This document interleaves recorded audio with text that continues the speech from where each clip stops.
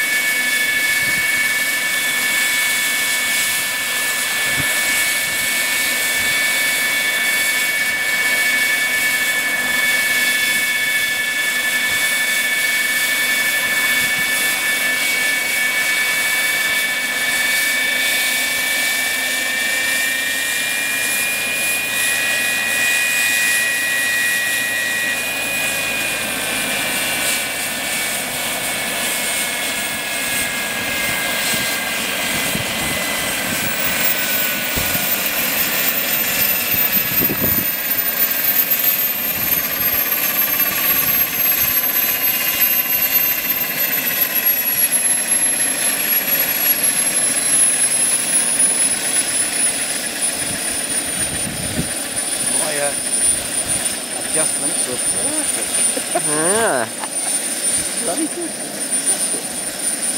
Flew it in heading lock and off flew it in normal mode.